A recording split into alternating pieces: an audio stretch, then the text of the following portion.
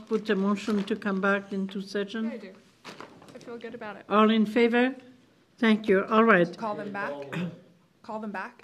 Yeah. Thank you, Jill, that was awesome. Yeah, that was absolutely delicious. Same time tomorrow? Or Friday would be great. Friday. To my wedding. Hello, Councillor Court. We're just Okay. going to call Councillor Bengry. All right.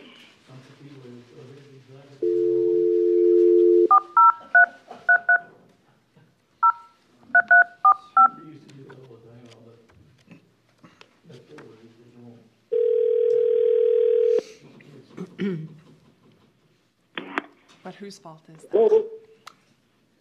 Hello, Councillor Bengry. Thank you, Shem. Councillor Court, you still with us? Yep.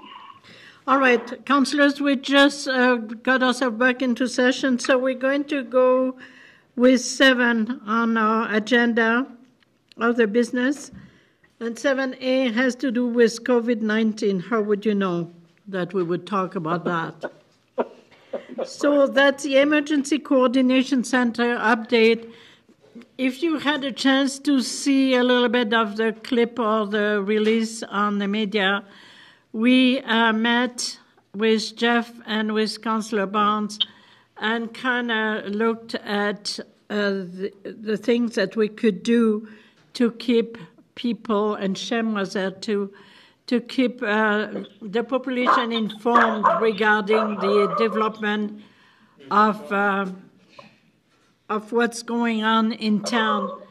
What we wanted to do, we wanted to reassure the citizens that there are plans in place if there was a COVID 19 in our town to protect our utilities and the functioning of such, and that we would uh, do all we can to keep them aware of new development in our town. So essentially, it was a release to kind of stop the fear of people asking us, is the water drinkable? Is, uh, I mean, honestly, really. And to give them a little bit of a sense of what we expect from them is to help us with the issue. And uh, if you're sick, stay home. And uh, in fact, Jeff now released another piece of information. If you're coming back from out of uh, Canada or from out of province, or if you are a missionary returning home, please keep your distance and uh, follow the proper protocol in order not to infect us all. So that's what we tried. I had four phone calls regarding that uh, uh, video. The first first reply was from Councillor Brown. I say, I really like that. She's sharp, I'll tell you. She's on it right away. I mean, I never look at Facebook or whatever, but she does. And uh, I had people calling me at home telling me it was really good to know that uh, we are aware of the different issues with utility and all that. They were quite appreciative. So we will carry on doing those type of release from time to time. We might do another video or something like that when we feel the time is right and uh, communicate with them. It was uh, uh, Corey put it on Sunday just before the spoken word. So that's probably how he managed to get quite a few people uh, aware of what's going on here. So, did you personally hear anything from people? Is there are there fears? Are there concerns? What is going on? I had two phone There- calls with concerns, and I'll tell you about them. Uh, Councillor Bengry. Uh, first of all, uh, to Councillor Brown, uh, my feelings go out towards you with Councillor Kale, or Missionary Kale, Elder Kale. Probably will be returning, and and He's uh, home already. It's a, it's a sad moment. No, no, no. Hold uh, on, hold on. I Let her tell you. Let her tell you. Go ahead. Just to be clear, Yes. my son is not home and is not coming Oh. home. He Yeah. is in Las Vegas, Nevada, and he is not considered a foreigner there. All Canadian missionaries are staying put as of this time at 6:55. Well, good. Excellent. I'm, I'm pleased to hear that. Um, my second question is, have we got information on our electronic billboard out front on this COVID-19? What do you want us to, to do? Yes. We do. Well, uh, suggestions uh, to defeat this and combat this, you know, Okay. distancing and so forth like that. Do we have any of that kind of stuff on the electronic billboard? Okay, on this one, I will uh, let uh, Shem tell us what he put through. There's digital sign directing people to visit the town website and view all of the official sources on COVID-19. Okay, so on a digital sign, it says it says to uh, for people to go to www.cardston.ca to get the latest news regarding the COVID and get all the information they want, which is what we told them in a video clip we made and in a release in a paper and social media. My my concern is is I don't want our our administration to be tied up or any of the office staff to be tied up with a with a bombardment of phone calls. Okay, so I'm going to let Jeff talk to that. Okay, so we're not, we're not getting bombarded with phone calls, we get occasional calls, but there's lots of information out there, we just wanna direct people to the correct information. Excellent, thank you. Okay, so uh, that just to give you a sense. So from time to time, we will choose a proper media to release our information. We are getting the numbers of cases as far as we know at this point. There are no case in Cardston, nor on a reserve, nor in a county as far as we know so far. so far. Uh, if you talk to the doctors in town, they will tell you it's not if, it's when. Correct. So, uh, what we need to reinforce with all the people that we know that are coming back from holidaying is tell them isolate. Please isolate for your sake, for your family's sake, and for the friend's sake, and for the community's sake. And for goodness sake, enough is enough. Stay home. Uh, we had uh, some that just came back from California on our street, and they were all about blabbing about all over the place, and were not uh, isolating themselves. It was not nice.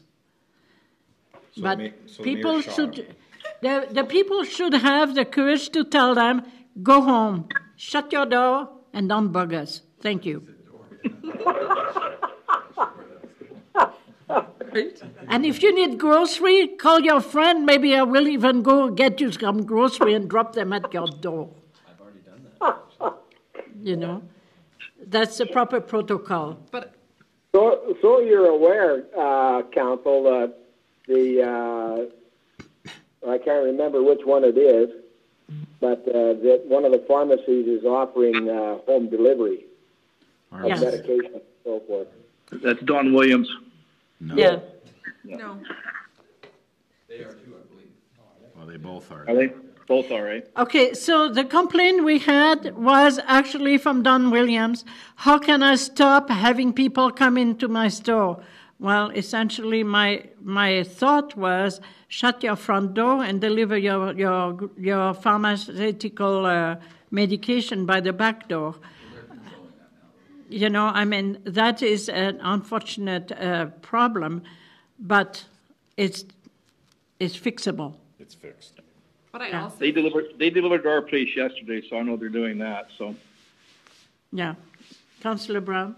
But I also think what what a better time for us to be compassionate, to not be judging, to take care of our neighbors in whatever way that is, whatever that looks like, to keep ourselves healthy. Because I I'm hearing a lot of negative, but I'm also seeing a lot of beautiful things happening. Yeah. And I, I think as a community, we need to try and focus on the good rather than the sky is falling because the world wants us to believe otherwise. Right. So so take care of those around you, be compassionate, be grateful, don't be a bully, and just be the best we can be. Yeah, and so that that is a very good message. That's a message we try to put through the through that video. But we also have to send that word of caution. Please help us stay safe and do your two bets worth. Uh, the fact that uh, the seniors can go twice a week early in the morning is great. Uh, it's a good thing to call all those shut-ins uh, seniors that are shut in that need, uh, and even not seniors, anybody that you know that might have mental uh, issues or difficulties, those are the people you need to stay in touch with too, as much as you can. Okay? Because honestly, people are getting depressed there. Yeah. Yes. So, are Councillor all of our facilities closed, Joe? Not essential services. The seniors not. The, the, my main point of having this on the agenda was to just give you a bit of a collective update of, of the program. So obviously it timed pretty much the same as the ice rink, so it's closed. Uh, pool can't open Right. right now. Um, we're preparing a little bit, starting to get things ready, but it can't. Um, our office here is still open, so we have some signs if you're coming in for these types of business, but the traffic is very low. So we're seeing, you know, five, six people a day, is all that's coming through the doors. I met with the staff in the office yesterday to discuss if we were comfortable with that level of traffic, that risk. We have people situated, so there's some distancing, so right now everyone's comfortable with that arrangement. We're gonna continue with that at least until the risk is elevated, I think. Um, Public Works, so, so one of the things about, let me take a step back. One of the things we did is we activated the Emergency Coordination Center, which really means nothing more than we put some rhythm to how we're reviewing and updating and responding to this issue. So that's what it means. So I'm meeting with Councillor Barns and the mayor. Uh, we're meeting again on Thursday at three thirty. So they are the Emergency Advisory Committee. And so we're meeting with them. I meet with management staff probably every other day, if not every day. And then we're having, like, we have a staff meeting here at the office to talk about things to do. Bart's met with Public Works about, and we put things in place there to try and mitigate, uh, contagion and people getting infected. So little things, for example, like the Public Works guys are not sharing vehicles. So normally we just have the vehicles and you get in one and you take it. Well, now, for right now, this is the vehicle that so-and-so uses. And this is the vehicle, and they wipe them down at the end of every shift. And when we get doing construction, so-and-so will be the guy that stays in the loader. So-and-so will be the guy that stays in this piece of equipment. So things like that. We have separated out, uh, Wade and Curtis as water wastewater operators, so they don't cross paths anymore. Uh, one focuses solely on the water plant, the other focuses solely on the wastewater plant, so that they, we don't want two of our water wastewater certified guys to get sick at the same time. Um, so just things like that have, have come into place. Here at the office, wipe down, sanitize doors, poles, light switches, everything every day. And, uh, so things like on Thursday when we meet again, one of the big things we gotta discuss is are we closing all playgrounds? Anything with picnic table, playground structure, bench, is it closed? Because that's what's now happening. Red Deer, Lethbridge, Calgary, Edmonton, they've all done that. Yeah. Um, so we'll have some of that discussion. We haven't had direction on golf course yet, um, what happens there. What about the seniors facility? Well, they can have it open if they keep, uh, uh, gatherings under fifty. So we put a big sign Yeah, on the sure. front door there. Bennett Foundation has got a lockdown on the foundation Yeah. in uh, Diamond Willow Terrace and also the Chinook Foundation Lodge here. So we're just doing business continuity Yeah. planning in each department, which I've given you some, to show how we're trying to work with some of that. It's preliminary, but what we're doing. Councillor Selk. Okay, so when it comes to the parks and playgrounds and stuff, you'll make that decision and then notify? Because I've had a citizen go and shovel off the pickleball court because they're getting crazy. He was just Yeah. there today. And they want to start playing some pickleball. So, so that's an interesting one because there isn't much that you touch. No. Right, you have your own racket, although you're swapping a ball back and forth that you're swapping back a hundred times. So we do need to have some discussion about what is the breadth of the closures. Because there is social distancing if it's Yeah. just Yes, you there and is. your spouse Yeah, and you're playing at least six feet Yeah. apart. so we're thinking it's more of those structural things, like, there is no chance we could go down to Lions Park and disinfect that great big web. You know, every day, like, You could with a fire truck, but that's well, about it. potentially, yeah, if we get a, a crop duster or something that could go over the ball, but that carries with it some other liabilities. Well, we're just gonna put signs up that these are not disinfected and they are closed as, At your as own part of risk. COVID nineteen Yeah. precautions and we think we're gonna see direction from the province on that in the next couple of days, that's why we've kind of waited to see what comes. The Waterton's closed down, Yeah, Park County yeah, closed there's it. a lot closing, so. And just so you know, um, we were doing some research on the virus and it said that uh, on metal, Yeah, it's like nine days, the, the virus can last nine days, so. On close, eight hours or Yeah, something, Unless you're the sunlight and then it'll. burn it off. But, yeah, that's. So I guess to my point, no one's going to kick anyone off the pickleball court if they, because the, they're practicing some, Yeah, who is, who's going to enforce all of these things? yeah. well, again, I think Councillor Court, your question, is more of a, we have posted that this is not right. safe. Right. Yeah. And Correct. so, Okay. why in the world would you do it, first of all? Yep. Um, Yeah. So we're already starting to see some of the staff impacts. Um, so we have three staff in any different level of self-isolation right now for the two weeks, whether it's due to travel or a sick family member or doctor's orders. So we're starting to see impact on staffing. We, we have it in a couple different departments, but it's manageable right now. So we know we're okay. We have somebody coming back next week and then somebody the week after that. And, and hopefully nobody else goes down. But when we met with the emergency advisory committee, focus was the areas of water, wastewater, garbage, and fire. So Yeah. those are the ones which we have to manage. There are Yeah. coordination pieces, so Right. you saw in the form I gave, we have contingency plans in, in those areas, plus a, a few more, um, even with electrical, so we're trying to keep, our, for our example, our electricians don't go together in a vehicle right now, so they're trying to keep that separate and, and keep some space and do some things like that. And then we're just gonna see how things unfold with Parks and Recreation, so we're not hiring seasonal staff very much. We, the parks are gonna grow and they're gonna need, we can't just let everything go to seed for heaven's sakes. So we are hiring some staff so that we can keep things up, but right now, baseball's been postponed till at least probably mid or end of May. Soccer's probably on hold until there's word about, uh, if they can go. So we don't have a bunch of programming that's pushing needing to get seasonal staff here at the end of April like we normally do. We have two guys, we have three people at the golf course, but that may be where it holds for a while. You know, we just may not need a lot, so, um, we're just having a lot of those discussions right now, and we're not doing toolbox meetings at Public Works, for example, in the mornings, and we've created an online task database that everybody can put what they need to do, what needs to be done on, and they all have it on their phones. So we're just doing a few different little things like that, so that the guys don't have to be right next to each other all the time, uh, it's working okay right now. I mean, my my only fear is that people don't abide by the isolate yourself when you need to, and that we as a town have to declare a SOLE because we need to now control the movement of people, and that's the next step, right? So if people don't play the right way, that won't give us any other choice than to cause them to be restricted, and it's no fun.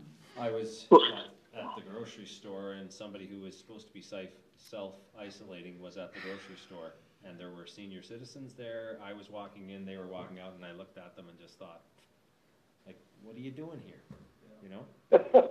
So, Yeah, but uh, we laugh, but you know, yeah, it's, when you spreads. think that uh, the the disease sometimes does not appear until 14, 15 days after you you uh, got infected, that's a little bit of a scary uh, proposition when people are so stupid. I'm sorry, they're stupid. It's, it's selfish. The other thing is, not all of us know who those were that are snowbirds that have just come back. I mean, I could run into somebody in the grocery store and I would have a clue whether they've been out of the country or not, right? So, I mean, that is maybe another message we can we can put even stronger, a little bit a Trudeau style. Enough is enough. We don't want to see you in a grocery store when we know you just came back. Maybe we can do it. Yeah, maybe we ought to do that. And I wouldn't mind doing a video with that type of message. Enough is enough. That's right. And so you saw one. I saw I saw some doing the same thing. It's not good. However, there's this little thing called free agency, and you can't cure stupid. So we cannot tell people it's up to them. No, It's- you must tell them we No, have no, a responsibility. My point, my point is, we can t- you can tell me all you want. oh, sure. However, it is up to the person, the idiot, to not self isolate. That is an unfortunate um, action that will have a rippling effect and take lives out, which is unfortunate. But it is not you know i've had i've had people messaging me and calling my house saying i've seen people and they're walking up and down main street and why hasn't the town done something about it? And i'm thinking well that's that's not where we're at right now. And this was a week ago. Sorry. We don't have that authority. no that's that's that's not us. And they but they thought it was. So i think it is important for us like jeff and shem and everyone is doing and the mayor is we we're it's our job to put the information out but it Yeah. is not our job to bully the idiots into making the right choice i mean it is on their shoulders Ex- Except, Does it- except that when so- you have a SOLE, then it becomes a municipality ability to enforce. But we don't have the enforcement personnel. That's what Yeah. the problem who's is, do that right? That's what we don't have. Yeah, And that's another level of the provincial government's emergency plan. They can Yeah. invoke an emergency measures plan, they've been reluctant to do so because of the very issues that you're talking about, Council Brown, that how do you take people's choice away? But if it means that at some point in time, that there's an increase of incidents in smaller communities like ours because of the idiots, right? Mm-hmm. Then, then there'll have to be some enforcement somehow. And that's where I think our CPO and, and the RCMP will have to come into play and do what we can. But it's certainly not up to It's us not us to then. manhandle people off the street, but you can give them your opinion if you see them. Okay, there is another issue. The, the, the vagrant on our street are accumulating uh, like, like a club a club, and they are utterly oblivious to the issue. And as Jeff say, they're probably not the one who are in contact with anybody coming back from uh, sunny, sunny uh, countries. And so they're possibly not carriers and won't be. And I want to believe that is true. But it sends a wrong message regardless. They are panhandling more than ever right now. Of course. It's community transmission now that's the issue. Yes. It's not people coming from overseas. So Yes. They are a problem. agreed Definitely. Okay, as a self-isolator that just came from a sunny country, I haven't been in any stores. On the way back from Calgary, of course, you have to go to the bathroom, but my wife and I are smart enough to wear rubber gloves or, or use uh, hand sanitizer. Uh, But you also have to be careful.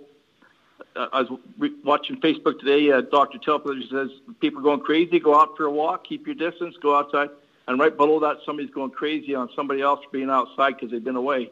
I talked to the RCMP. You're not supposed to be outside. I don't believe the RCMP have ever said that.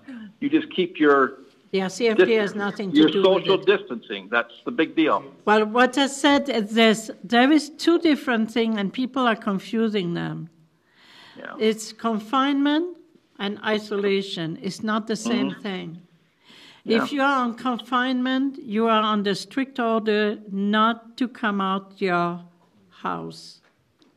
If you And are in be something that's- isolation, if you are in isolation, you can still go out and keep your distance and uh, be okay. But the issue is with people who come back from travel, they want them confined. Do not stop for grocery store. Do not stop uh, to say hi to your kids. Go straight to your home, shut the door, call someone to bring you your grocery, deliver them at your door. Don't open the door when they're still there. And that's confinement. And that's what I want people to do with the snowbirds and anyone who is going to come back crossing borders and even crossing provinces at this time. So that's a difference. Isolation is not the same as confinement. Confinement is one step higher. So what am I? Am I confined or am I isolated? You are confined. I don't believe that. You're quarantined. Well, according to the government, uh, I've read. All, my wife reads all those things. I've read all those things. She's a nurse. We, we've interpreted it that you keep your distance, social distancing. no, And I don't believe I'm confined to my house and I can't step out the door. And I haven't been, but I haven't been around anybody either.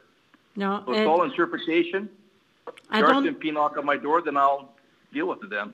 I, I hope is uh, you see then then the, the government is not sending the message uh, the proper way. But from all what I heard, especially yesterday from the chief medical officer, they're really telling you to quarantine right now when you come from from out, outside of uh, the country.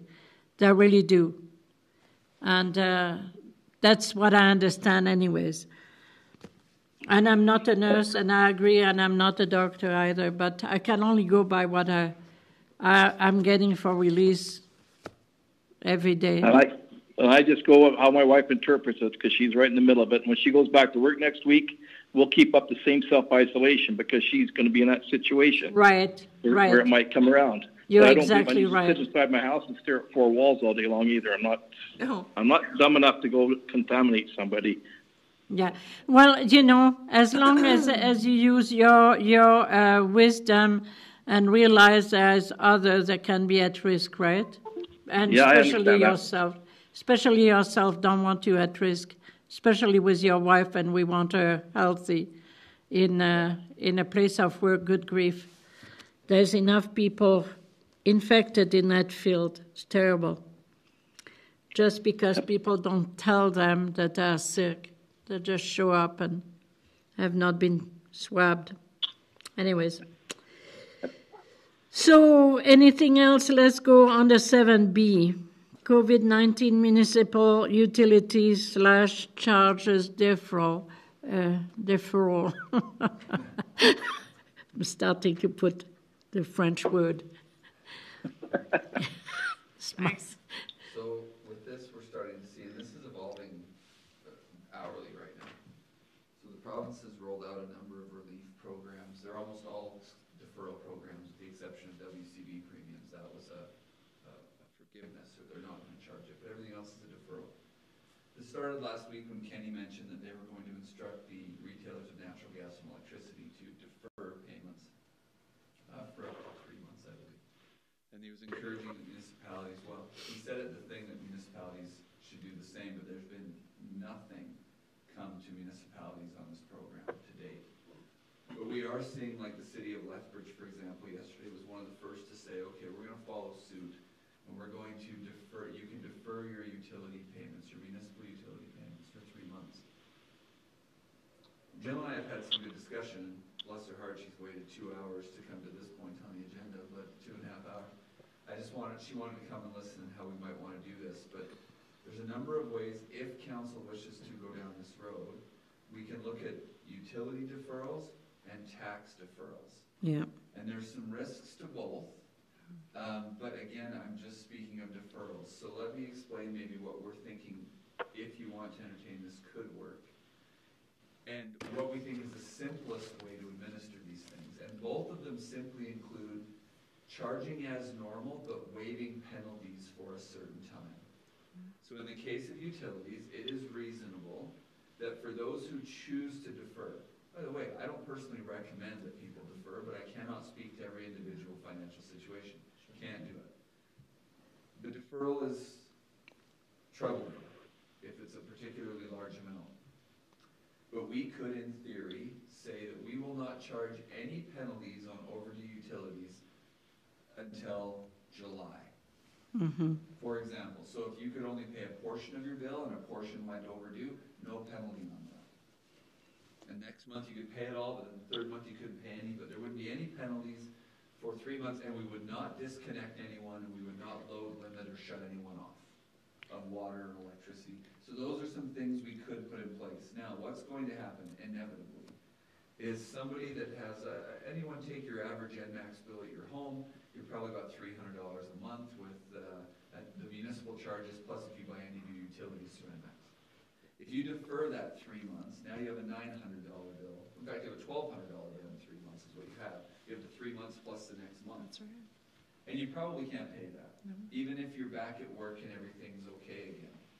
So what we see happening is at that point, what we would do, to those who inevitably can't pay off the balance before penalty, is we would allow them to break that payment up over twelve payments and pay it over the next year. So they owe twelve hundred dollars, okay, great.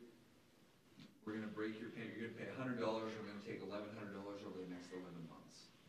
And now you're gonna pay that over the next year. A hundred bucks a month on your bill. For the Yeah, so instead of 300, you pay 400. Pay four hundred. Yeah, so then they pay four hundred dollars a month for the next year. That's, it's inevitably going to arise, we have to consider that. Yeah, yeah. So that's something we think, because we don't wanna get into this notion of not billing every month, because we have meter reading contracts, we have all this other stuff we have to do from a regulatory point of view, so we're saying, bill as per normal. But you would have the discretion if you choose to waive. Now, on taxation, it's a bit of the same story. Where on taxation, there is a penalty July first of eight percent. Yeah. It's quite a punitive one, actually. Yeah. And the next penalty is October first of four percent, correct? Thank you. And what we, we- we were talking about, one of the things you could do is simply waive the July first penalty. Just, just discontinue it for this year. Essentially, what that means is everyone's taxes are due by September That's thirty-first. right. Except we have a, about, uh, is it three hundred and some properties? September Okay. 30, There's about 31st 500 doesn't properties on the exist. Prepayment program who have already, they're only two months away from having their taxes prepaid. Five hundred. So, yeah. Yeah, so we have about five hundred and fifty of those properties, we have a good proportion. So my feeling is that we wouldn't delay their final payments, because again, they only have one or two payments within the time, the trying time, they've prepaid over the last year. And so, but for those who aren't on tip, you, we could potentially entertain, now you're really just making it the taxes aren't due until September first, is what, what would be the, the thing there. September. September, uh, October 30th. first, sorry. Yeah, September it was- it'd be 30th. September thirtieth, penalty would be October first, but there would not be a July penalty. Again, for a lot of our, especially if you're a larger business, that could be a lot of money you're deferring, but in that case, I'm also not entertaining that we enter into tax payment plans with them over the next year either. We're just postponing, we're, we're- we would be potentially removing the penalty in July. That's about it. And it wouldn't apply to prepayment, we're paying them interest anyway. We're paying interest on tip anyway. So I don't wanna start messing around with the final payments of tip people and holding those off until September and, cause they start back on their next year in August. Right? Yes. I gotta keep confirming, Joe. Um, so I just throw that out, if you want to look at going down this road, those are some of the maybe simplest administrative parameters we've thought of that may be helpful. All right. So I really believe that the more we can offer at this time, the better it will be. As you said before, people have uh, their agencies that can choose one way or the other, knowing that it's not going away, but uh, there is a solution in between if they choose to exercise it. How do you feel about it, Councillor Selk? I administration. And in essence, it's pay me now or pay me later, but you're gonna pay me. Well, you're going to pay me, but you won't have the penalties. So I'm not going to, I'm not going to kill you for for uh, not paying right away. I, I think that there will obviously be some people that are gonna be affected, but I think it's important that we put this out as information to let people know that they're still going to be, you know, deferring. Deferring doesn't mean it's a gift. Mean you've been waived. No. And they need to understand that, that they're better off to budget their money, whatever they have, if they can afford to make partial payments, but don't just let it go, because it's tough getting caught up.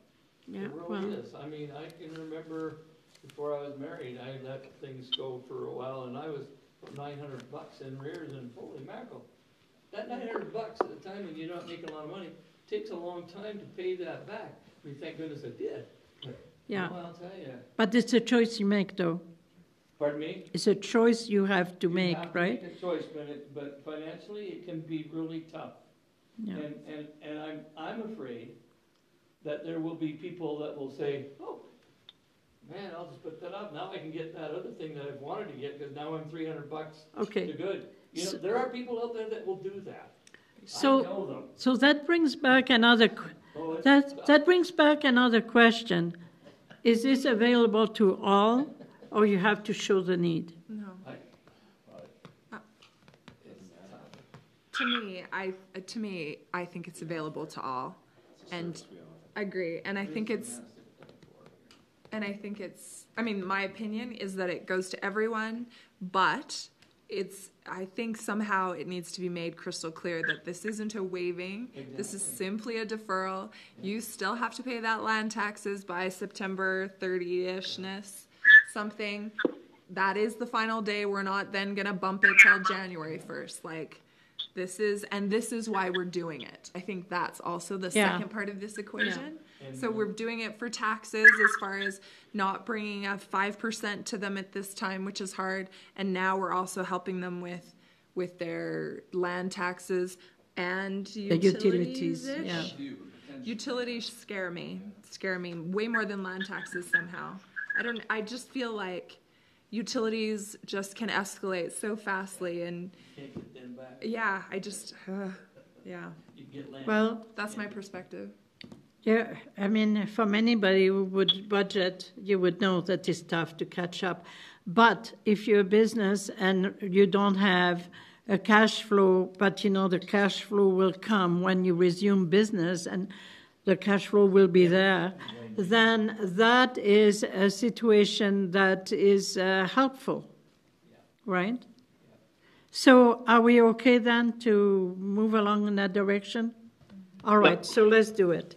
What do you, do you have anything there? Council Bengry, you- Councillor Bengry, you're trying to say something? Oh, or Councillor Court? Are you okay Nope, with agree. that? I'm okay with this. I agree also. Okay, all right, so that's fine. Can I just say then, are we looking to, we will do deferrals for ninety days on utilities, Yeah, which means there will still be normal charges, but no penalties will be applied Agreed. until, and then we'll probably have to do it where it be starting this first of the next billing cycle. So something like that, we'll sort that out. yeah. And then on taxes, and, and Joe, if there's anything we missed here, please jump in, but we will waive for everyone the July first penalty. So taxes will still be due June thirtieth, but there will not be a penalty for non-payment until September, or until October first. Right, So all payments need to be made by September thirtieth Right. For no penalty. and we need to make it really clear that deferral doesn't mean forgiveness. Yeah. And Okay. COVID, we want that on there. And we want it as a COVID, uh, COVID uh, measure, This yeah. is why we're Now, doing it. If I might, Mayor, Jill, did I miss any cautions or concerns we talked about over the last couple of days? If I might, Mayor? Please go ahead.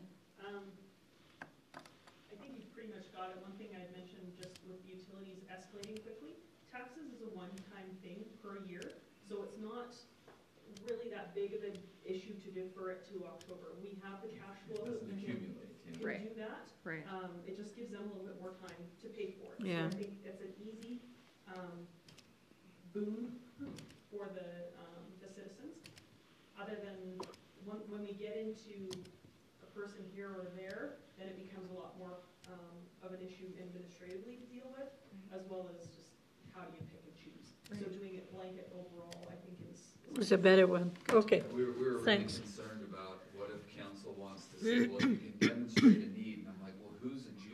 Right? Well, this is why I brought it up because can we act as judge is pretty bad, right? We don't have the financials of people. You guys are bishops. It's not appropriate.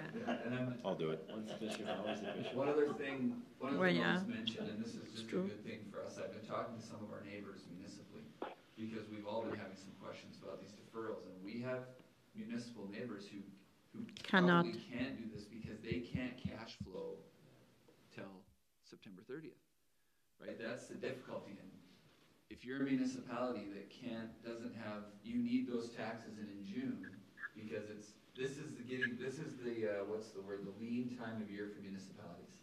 So we're going into April, May, you know, we've kind of spent our year's worth of taxes, and so we're in a fortunate position as a municipality that we can offer a deferral, because many can't. So how many people do you think in our community would defer their taxes? Uh, just, you, you have kind of a number that you No, I don't know. I mean, for me, if I wasn't on the tip, well, I'm not anymore, but I was on the tip, I wouldn't give you my money until I had to. Hundred percent. I mean, here's something that But I, I'm looking at. Barb is closed. Ming is closed. Sauce is closed. That might help them. Oh, I, I think it will. One of the things I've heard from the businesses is the province has deferred the payment of uh, income WCB. tax until April thirty-first. Yeah, right. And businesses are saying that is really big for us, Yeah, because we hope to be cash flowing by summer again.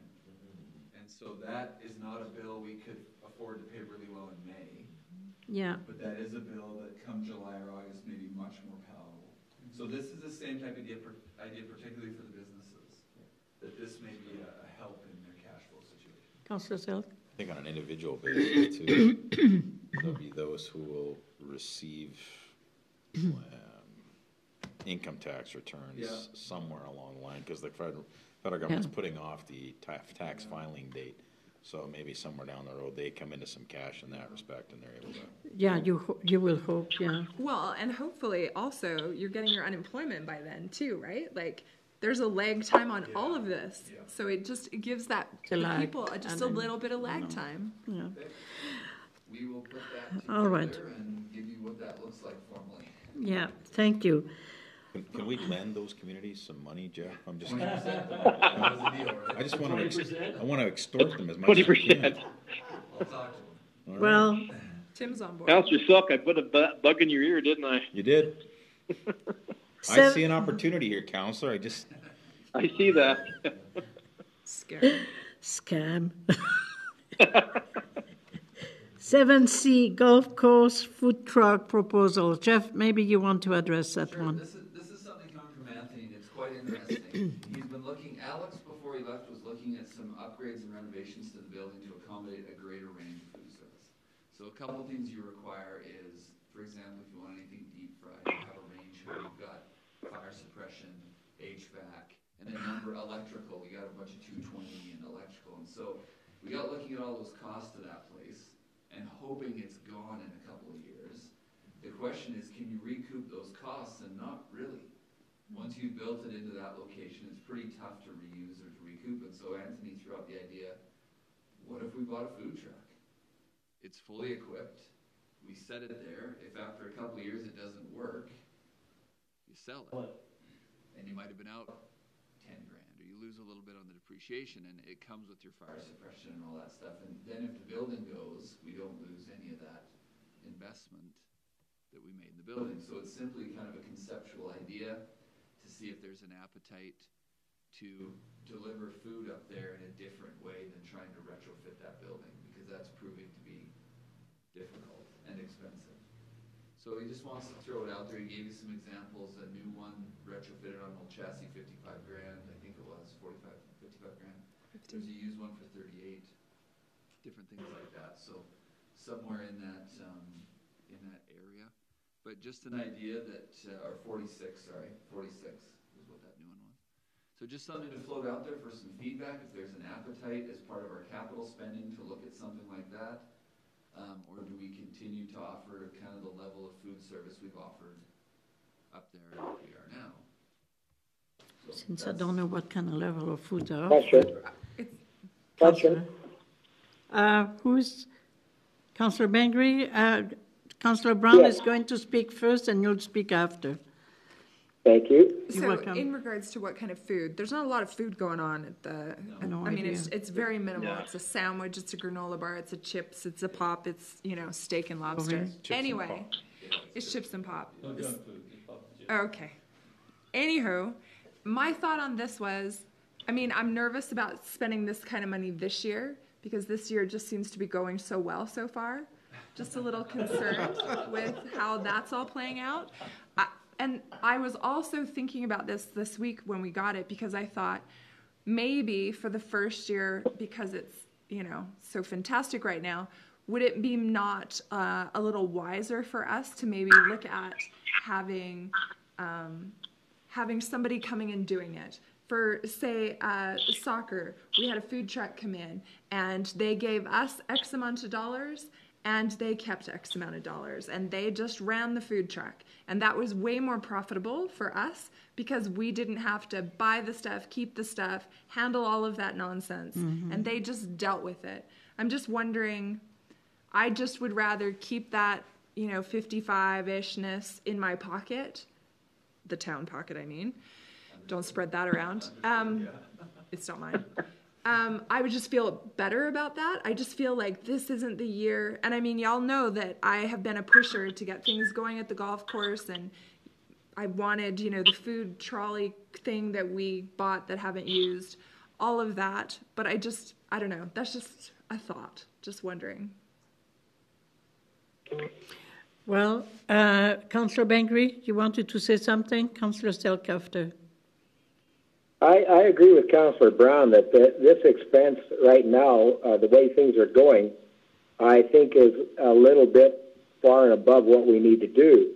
But I also have a concern. If we offer a food truck service out there, where are these people going to sit and dine when the restaurants are closed down? And this social distancing is a big thing. Not doing it.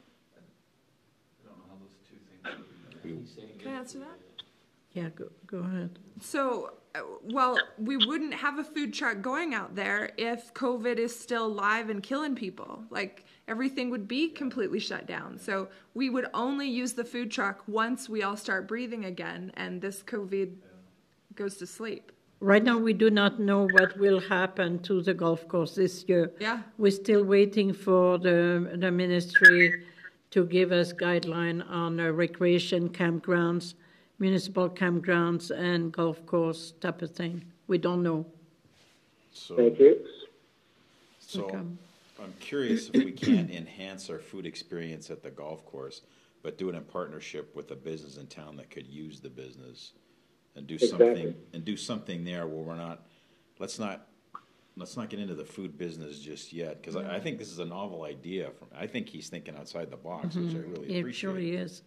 But is there a way that he can work with somebody in town to enhance our food experience at the golf course and help them out and help us out? Agreed.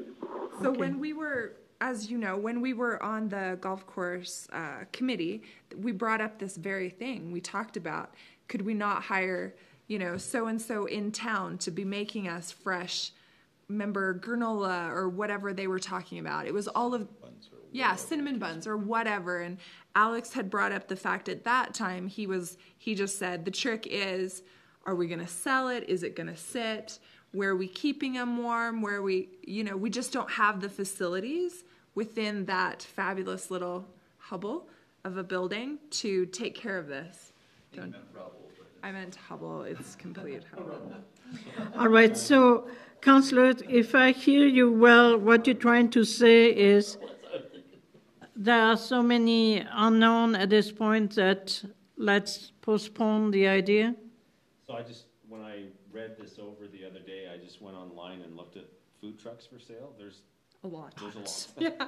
So I'm thinking that's not a good sign if we've got food trucks that are in Alberta, just in Alberta alone. There's probably thirty-five or forty food trucks that are. Well, because Queensland. we're in the old patch and uh, in the old patch is dead. So that's where it Good is. idea, but, yeah. timing I just do want to mention something you asked at the beginning. Last year, Alex did reach out to food truck owners in the region and ask if they would come and be there on certain days and weekends, and they And they all could- declined. Yeah. So they're interested in events, they wanna go where there's a Yep. Thousand people in Yes. six hours, Right. and then go home. and Yep. And we were not able to get, we did try, Mm-hmm. I say Alex did, They- he did try to see if we could get someone that would say, would you be there Saturdays, Sundays, for example? Right. And, and the answer was no. So there isn't an appetite from the current owners, and I agree with you, it's, that's even ebbed and flowed in the community. So there's two that used to be in the community that, that they've sold them and aren't in the community anymore, right? I don't think our, if we did it, and, and I'm fine with the whole conversation we've had, but if we did it, our expectations are a little bit different than that private operator that has it, because Of we're course. simply trying to enhance the service Yeah. that we're currently providing, so our, our goal's a touch different. It's obviously profit motivated, there's no question, but not as heavily, because we're just trying to enhance what we have there. And is to be used at other venue, could It be could be, used yeah, at a it could be powwow, used could be used, things too, yeah. which we always have tough time getting people. So, question on that then. So, what about that fabulous little vehicle that we bought last year? Yeah. So, it's, you know, pop and chips and sandwiches or whatever. Could we not, um, could we not kick that up a notch? Like, I realize because last year when Counselor Selk and I brought it up, you know, are you out there? Are you, you know, doing the pop and chips or whatever? And and Alex would bring up the fact that well, the ice is expensive. You know, we want to make sure, and we got to pay for somebody's wage to be Yeah. there, and we got to keep the ice going in it, and we don't have like there was all of these things, and then the thought to me was, well, why do we have it then? Like, why did we buy it? Yeah, that's a good if it's just gonna sit in the shop. I think it got used three times last year. So It really only makes sense when you have a very big tournament or a very busy day. We, we lost a ton using that thing last year. right, It, it, it did not make fiscal sense when you went out and sold four bars and two bags of chip in an hour and paid a guy eighteen bucks to be on there. Right. so uh, that's Yeah. Councillor Selk? Yeah, I, I think that that was Alex's take on that and brought back to the committee was that it was a money-losing proposition, whatever. But back to my point, maybe Anthony can reach out and think, you know, he's doing a great job thinking outside the box, but try to enhance the food experience, but use our local merchants, local So entrepreneurs, restaurateurs somehow. can, pizza. can, uh, Councillor Barns, and then I will ask a question. As far as food trucks go and food at a golf course, when I used to live down in Ontario, I, I was a caddy. And if you were to tell me that pop and chips and a sandwich was available, I'd say, what the heck? It's gotta be good food. It's gotta be at least a nice burger and some fries and, you know, something that's good and, and warm. Nobody's getting excited over a sandwich. I can bring the sandwich with me in my backpack, you know? But that's just my thought. I- If it's gonna be a food truck, it should better be somebody that's got Okay. good food and a, and a bit of a variety. Okay, can, can I maybe ask something? Nobody will buy. But I'm just wondering if the issue is to have food that may sit there and not be sold, and then it's a waste of money also. Is there an ability to have a pre-order and then have people from the community, like Sauce or the pizza joint, to, or who knows, deliver that? I don't, well, like pre-order as far as when I start the round, or what are you thinking? Yeah, if they're thinking. I don't know if that'll work. Okay, so to add on to that, because Counselor Drew, this is something he just brought up that I, I my brain's on fire with it all of a sudden. But what if you had, but what if you had, you know, uh, a subway day? So as I'm coming in, you're letting me know as I'm getting my clubs and I'm getting my little golf cart that today is subway day. Would you like to place an order? We can have it out to you by X, you know, whatever. What ishness in Cardston skip the golf cart. Anyway, I that's I think that you know you could do a subway day, you could have a, a KFC day. or- whatever. Like each day could be something, and I think, as Councillor Selk had brought up too, that's bringing those businesses back into it and giving them a little bit more love within this community, and yet helping us out at the same time. I don't know. I just I think it's a great idea. Well, it might be worth exploring. if nothing else. Well, and Councillor Court, you might bring this up in your next meeting with the, with the golf course advisory, just to see what their thoughts were, because we brought it up in the last two years. Yeah, we could. Anthony will be there, I'm sure, so we could talk about it anyhow, see what they think about it. Okay, thanks. So right now, it's uh, in progress. That's a good word for it. All right. 7D County Development Proposal. Jeff, do you want to talk to- about those? Yeah, um, so the county is, um, asking, so these are developments within what will be called the intermunicipal development area and the consultation area. So the county, the county's looking for feedback on these, and Councillor Selk and the mayor have had Thank you. a meeting with the county on these already. And then they're looking for any comment from the town, so has put comment from administration's point of view on all three. Um, so you have the industrial over here, and then you have two that are related, same developer, but one's simply for residential lots and one's campground development.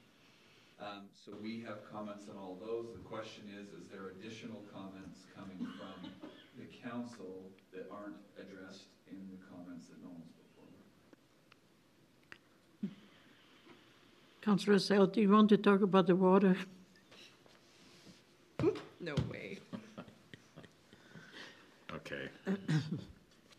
I'm, I'm not exactly sure, Mayor, what you want me to com, and maybe I shouldn't comment in public. But, um, I mean, it's fine, I like, I like what they're proposing. Uh, I think in both cases, it would be beneficial to, you know, the community. At large? Obviously, it's a little disturbing that they've chosen to, d- to do the one business out in the county when one of the principals has land on the east side of town right across the road that he's been, how can I put this? Yeah. Bending us over a barrel for a while now. And, uh, now he's moved across the road and is going into this business with a partner. That troubles me just a little bit. And in talking with Jeff and the mayor about this, in reality, they could put it on the town side of the bypass and actually save money in taxes and Because the mill rate is lower. Yeah, in taxes and infrastructure. Mm-hmm. But is that something for us to get all, you know, twisted about and they've said they want to be in the county, so let them be in the county and we'll charge them seven times the rate for water. I thought you were going to talk about water. Well, if they do go into county, they're paying for all the mm-hmm. infrastructure that's gonna have to go there. Mm-hmm. Mean, we've already spent money, like you said, for infrastructure for the property that he has now. Mm-hmm. And now, there's no way, by golly, that we're gonna pay for it again. So, I feel the same way you do, Counselor Selk. I feel like we're getting, we're getting took again. Jeff? Nothing else? Is this where we buy the property back and? Well, that, that's a different monster, and we'll, we'll see what we can do there, but. Yeah. I, I think with that particular principle and that property, we'd have to visit the law firm of Dewey, Screwham and Howe. We haven't heard that. Councillor, we haven't heard that. Yet. Um, Councillor check it Van out. is disconnected, Shem. It's because they had another phone call. Yep. Well, it, Jeff, I guess my only question, beating around the bush on this, is there's probably no way that we can force the one principal to do something appropriate for the town, given that, that we're doing something for them. You know? That Hello? It really bothers. Hello, me. you there? Yeah, I'm back. You're back. Yeah, I'm back there. It really I have no me. volume whatsoever coming from you people. I'm sorry? I'm fine. I can hear everything that's going on, so I don't know. Your phone up. Turn up your bell tones. It bothers me. Yeah. We're still being, I don't know, played. Yeah, I'll try and bring that to a head here shortly, just so we know one way or another where we're at with it. Yeah. All right, so that was for the county Just to comment on it if I can, they are talking about thirty-five full-time jobs something to consider. I'm sure a fair number of those people would be living in town. Like, like I said, Council, I don't think that we have any strong objections to what they're doing. Yeah, I understand. It's just uh, troubling that the one principal has been playing us for a couple of years now. Yeah, yeah, I, I understand that. All right, so thank you for your input. Seven E, the AUMA letters, that was a letter, You still have two more I'll never- comments to comment on there. I'm sorry? The Industrial, one of the developments, the Ford lots outside the campground is the next. Oh, yeah, yeah, yeah, yeah, yeah, okay, all right. Now, the lot is very close to the river, That, now, one thing that's come from and that's an issue. One thing that's come from this since we met is we have, and, and it's shown in your first map on the campground one. Right. Is that they did not design that campground to accommodate the wa- St. Mary's water intake that's under the ground there. So Right. they're gonna have to amend that, uh, cause it wasn't on their mapping. So Brandon sent them the mapping of our St. Mary's water line, which runs right through the middle of the proposed campground. So they're gonna have to do some work to get a road where that is and give us easement on that, although there's an easement on the property anyway, so. Um, so that we have our St. Mary's raw water line free of any uh, development. So that's the only big change they're gonna have to make, is they are gonna have to redesign this in the light of that, that. And, and I believe environment's gonna push them back from the creek quite a ways further. Yeah, yeah, they're too close to the creek. All right, so any question regarding that development? Somebody was saying maybe if we could get a path to the golf course and have some carts down below, it would be nice to have them use the golf course. Yeah. With them, you know, no matter what they do, if they go back, they're, they're looking at a, they're gonna put holding tanks on there rather than a septic system, wouldn't you think? To get rid of the, you know, the The waste. the waste. Yeah. And so, has that come into the communication? Yeah. They, they have to show the county where they would be disposing of effluent, how they're storing it, where it would be disposed. Okay. Yeah, so they'll have to negotiate with us, hypothetically, I mean, I guess there's other options, Uh-huh. but they'd have to negotiate with us for disposal of effluent. And they shall pay us Oh, yeah, yeah. a good rate. Two thousand times. Just, you laugh, but it's about the truth. It's about the truth, actually. Yeah, it's pretty big. Anyways, so that's what it, what transpired here. All right? So seven E, the AUMA, Not yet. Four lot subdivision still? oh, crumbs. Levitt's four lot subdivision. Okay, go for it. So this is just for country residential lots. Um, again, it, there's not a lot we can comment on here, except that they would be, so, so there's one interesting difference here. These, these ought to be proposed to be county water customers, but with town water, so under the license agreement. Now, I had an interesting succession of emails with Murray on this, and I would actually like your opinion of it on this one. Under the new water agreement, there has to be an application for any new service area. Mm-hmm. Murray is contending that this isn't a new service area. How? It isn't? Yeah, because he says it's coming off the same license that's being used for the Crecklewood subdivision. No, it's not. But I said, it's a different developer Yes, doing a concurrent subdivision of multiple lots yes. that needs new infrastructure run to the site.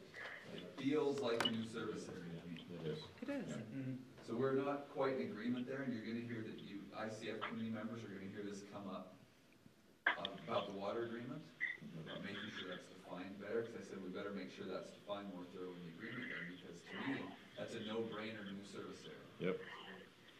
Is this the former Veterans property? Just over the hill of Voorhees, yeah. So Jeff, does it mean that you and, uh, you and Mary need to reword that portion in the need to do a little agreement? there, and then under the new agreement, and I would suggest we try and administer this under the new one, they need to send to us maximum water c- needs when it, at full build-out, where it's coming from, where they're getting the license from, all that information to support it. And I think we should require that on this Yeah, before they can supply water. totally. Yep. I agree. And Uh, We'll we, make sure that comment we is, uh, support you on this one. okay. All right, can I go now to seven E? Sure.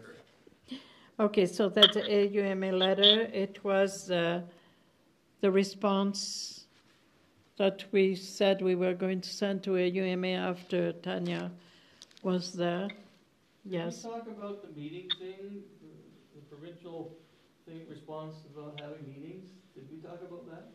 I've had this open and I can't, don't recall, since the question was, is council permitted to close meetings to public practice? No, So not yet. yes, we didn't. What's next? I think we already passed it though, didn't we? different item here.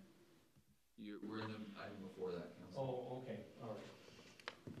Yeah, You're good. I- I'm getting lost there. You're good. Seven E, so that letter uh, is, was drafted by Jeff, and Jeff, thank you for doing that uh, on my behalf.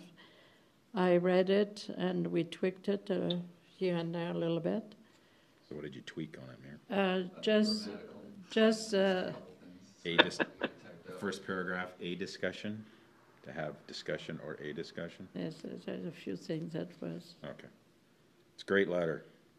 And Jeff, I think the, the uh, fourth paragraph is bang on. yeah. I went and grabbed a couple, and I used MDA Wood Buffalo, because you just brought it up, right? Yep. We got six hundred thirty-five percent Yeah, higher. isn't it un- unbelievable?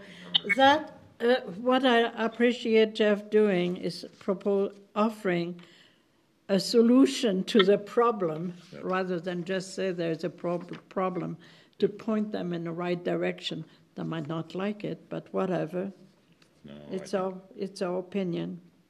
Do we need a motion to approve? with this, a motion to send it Yeah, we need to approve. approve it. I make, I make a motion to approve and send this fabulous letter. Thank you. All in favor? Yes. Thank you. Counselor Bengry, still there? Councillor Baker, did you disappear? Yes. Okay, so yes, okay, fine, thank you. All right, so what, am I going to miss something if I say, If you go to seven F, you're okay. Okay, seven F, council meeting cancellation or changes? Okay, so Jeff, you added that to the agenda for a specific purpose. We put this on today, and I know you haven't had a chance to review it, but here it is in a nutshell. With this whole COVID-19 thing, there's many communities whose councils aren't meeting. Yeah, That they feel they can't show, you know, an example of social distancing, or they, they're concerned for their own health if they have, you know, a compromised health. And so they're choosing to meet in a different way. Technically, under the act, you must cancel a meeting or change a meeting at a meeting. right, So it means a couple of things. Right now, I think we're all reasonably comfortable to meet. There's no cases in the community. We're able to put a couple tables out, spread you out. I mean, if the other two counselors come, you guys will be out to here, but that's fine. We can deal with that. Um, but if you, if all of a sudden there was a need to change, you would need to call a special meeting to then cancel or change your regularly scheduled meeting. yeah. Um, So there's just a number of uh, technicalities, and I didn't know if there was a strong opinion around the table that you did not want to get together to meet in the foreseeable future, or to meet like for, by electronic means or something, and to do it differently, or if you're reasonably comfortable right now. Okay, my, my opinion is probably because I'm uh, in the elderly section. So is Councillor Bond, so is saying Councillor me. Bengry. And And so, uh, so sooner or later, and I have at home uh, very elderly, and sooner or later, the less, the less uh, contact I have, the better it will be for both of us. So I know that we changed our uh, our council kind of procedure so that we can have electronic meeting. So Zoom is probably one uh, way to do it, or whatever else you may have to offer us. But I think if there ever was one case reported in a community, I don't want to be in meetings anywhere. And I don't know how you feel about it. Agreed. But I, agreed, but I do also feel that, um, We need to carry on business. agreed. I feel like there, there is technology, It's No. okay to use it. It works. We can easily have a council. Many of us, our offices are doing it. You're Skyping in, you're Zooming in. So then it's it's we we still have business that we have to handle, and I think it can easily be done in today's society. I agree. In fact, I think most of our other committee assignments are doing it that way. Mm-hmm. We're all doing Zoom or And- telecom. And I'm glad when we did the review, we added that Agreed. to our policy. So it's not that we need to reinvent that will, that will is in place. Yep. So, so I'll just talk about some of the subtleties of electronic meetings. So when you have an electronic meeting, one of the risks is they're not open to the public. So that's one of the criticisms of them, right? So we all get on a Zoom meeting and how do you engage the public? So what the act basically says is I would be here Yes, and I would be part of the meeting. And if people would like to come sit in the gallery, they can. Because I'm a member of the meeting at the town office where and when we said the meeting would take place. right. So that's how you satisfy that to a large degree, that Shem would be here taking minutes, I would be here, or, uh, you know, hopefully we're both healthy and that's all good. Um, and, and that's how we would conduct the meeting. So that way it's still open to the public. And, uh, if they wish to attend, they can, and we still take minutes and all that. And the act is starting to allow for a lot more of, I mean, the act is much more Yeah. accommodating with that than it used to be. We need to extend. Oh, you do need a motion to extend. Oh, gosh. Make a motion to extend till eight thirty. Yeah, please not pass that time. Thank you. All in favor? Please. Yep. All right, Yep. thank you. Mayor, if I could, Shem, What? is there anything I'm missing in the Que- electronic? Question, Jeff. Oh, Question, go for it. What's the capability of, of what, what, is- what is the capability that we have right now with this system? Because it's very clear on my uh, cell phone. I, I appreciate this being uh, zoomed in on me. Well, we can have you all on the phone, that's no problem at all. That, that capability is no problem, but I mean, we got better ways to do that now. Like with the Zoom technology, we simply email you all a link to your devices, you click the link, and we're all in a meeting together. Yep. And I just put my screen up there. Yep. Right, and you, everyone, we all, you're all in your homes, Interacting. and we're doing our thing, right? These don't So- have cameras and speakers in Yeah, them, do they? usually, yeah, yeah. Right here. The little ones, top of it. the little ones have a camera? That's what this is Yep. right here? Yep.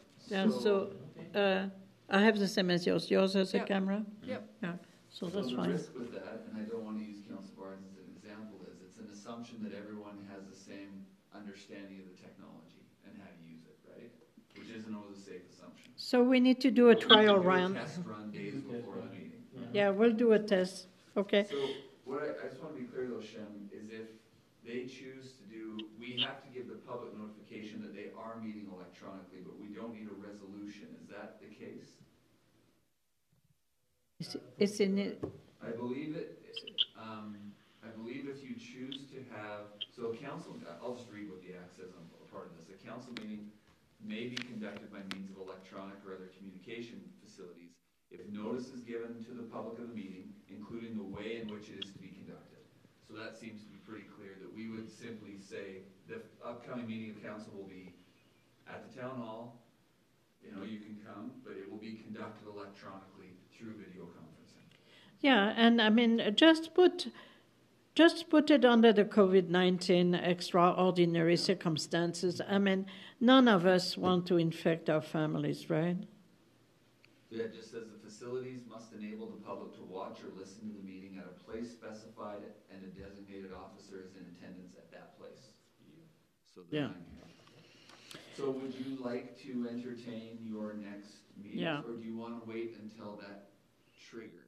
Is there a trigger in which you'd like to change? I don't know that we should wait for the trigger. I think the trigger is already there. There is that disease floating around. And with the snowbird coming back, I'm afraid that there's more chance now than ever. Yeah, exactly. Yeah. So are you okay if we try it next, next meeting? Sure. All right, We thanks. Try our committee meeting then? Yeah, Um, Sure. I'm just thinking for April fourteenth, we could potentially just have the auditor do it from their office in Lethbridge. Yep. yeah, exactly, and that can, we did in our meeting yesterday is we had, um, the auditor just call in. Okay. Yeah. Why not? We'll give that a go. We'll Yeah. put out notice right away. It will be same time, same place, but Yeah. by electronic means. Yeah. Dogs allowed? And then, uh, Please, and what we'll for do grandbabies. is we will run a test on this in the next few days. Yeah, So we'll email you all and say, hey, see if you can see me. Figure it out. Because we'll need to get the business version of the software as well. Yep. So we'll get that all going. Okay, thank you. all right, thank you. All right, uh, on the eight committee and report, well, they're a little slim this time around, so I don't exactly know how many of your meetings are canceled. Mine are canceled. There's no meetings and Reeves uh, until uh, whenever. So I don't know about SouthGrow. What's what's the decision there? Well, our quarterly economic, or our economic summit was canceled, I know. and we're doing all of our exec meetings by Zoom. Right. So we pretty well all in the same kind of situation. So we, uh, Some of our meetings by the Zoom, so. so how do you want us to report those? Well, that wouldn't be until the second meeting in April and we just, I mean, I still send you your agenda packages, that doesn't change. No, but I mean for us, for example, we don't go to meetings, so we don't submit any, any, uh, No news is, Just We'll do- submit what you have, and if you don't have it, then. I only send it out across what I get. I'm not following up with you to see if you went or not. no, I mean, it's just to know how we flow stuff. Yeah, Well, it's the same as we do now, Mayor, when we, Except we, we are electronics, that's about all, right? yeah, I mean, FCS. we'll receive minutes of meetings and then we'll forward them to Joe. Yeah, okay, That's what I did just the other day with annuals. yeah.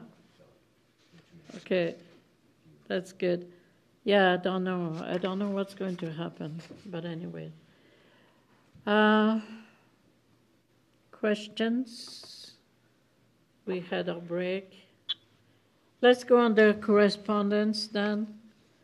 There's a AUMA uh, letter to Mr. Minister Madu.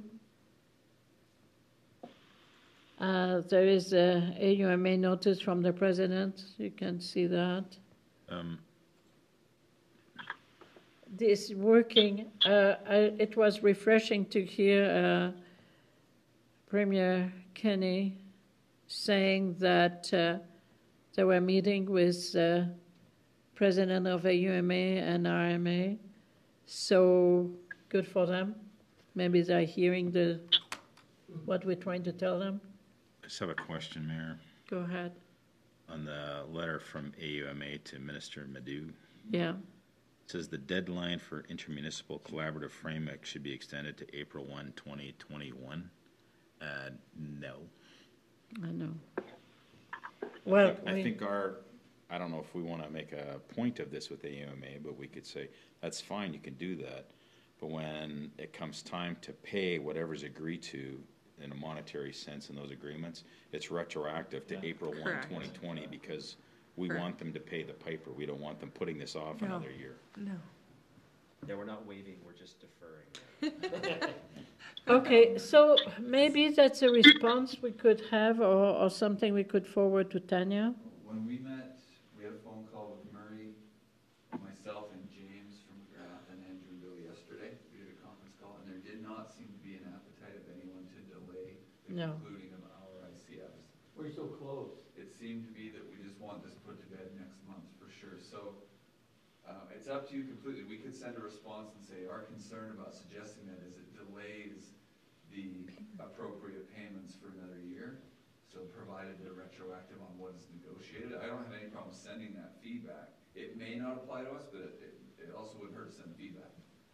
So I'm wondering if we should maybe add it to the letter we're sending, the- you know, that letter? All right, And, and just say, and, uh, or, or like, a. Yeah. P.S. An just make a addendum. Quick resolution to that then to add post, postscriptum or something. I'll make that resolution that we add, make an addendum to the letter to Tanya regarding the deadline for ICF agreements. Okay, thank you. Good. All in favor? All in favor? Thank you Yep. very much, Yes. Councillor Selk. Okay. All right, so notice from the president, okay. Ten C, Deputy Minister Paul Wynnyk. Alberta Municipal Affairs updates. And then we need to go in closed session. Okay. Into closed session. Thank you. All in favor? Thank you. Yes. Thank you very much. Okay, so there is a little bit of the legal, we already talked